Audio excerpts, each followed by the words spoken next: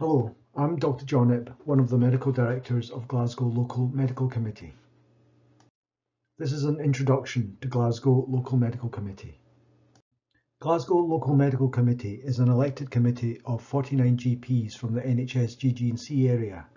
The Local Medical Committee is there to represent the views and interests of all GPs in Greater Glasgow and Clyde and to provide support and advice to GPs and practices. LMC members serve also on the GP subcommittee.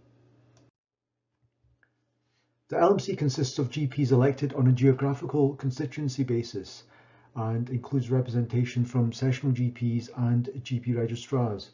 In addition, members are co-opted when appropriate, for example, GPs with educational expertise. The LMC meets every month in full session with a recess over summer. The LMC sends representatives to health boards, HSCP, SGPC and GPC and other groups where appropriate.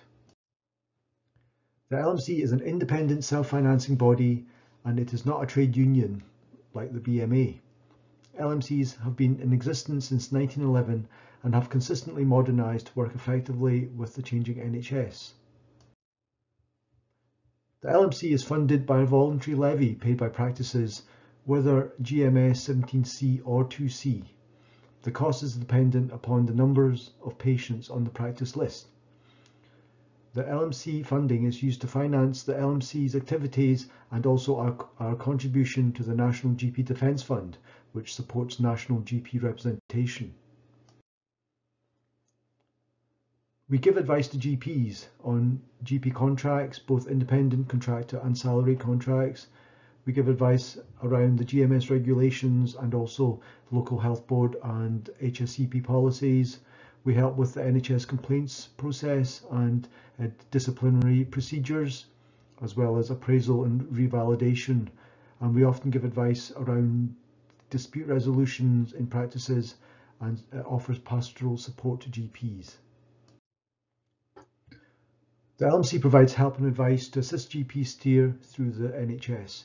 Such help is available on all matters relevant to general practice, including workload issues, coping with change, GPs' remunerations, the contracts and terms and conditions of service, complaints, premises and partnership issues, and also we provide support to sick doctors and those with performance problems. We liaise with hospital consultants and hospital managers at the primary and secondary care interface.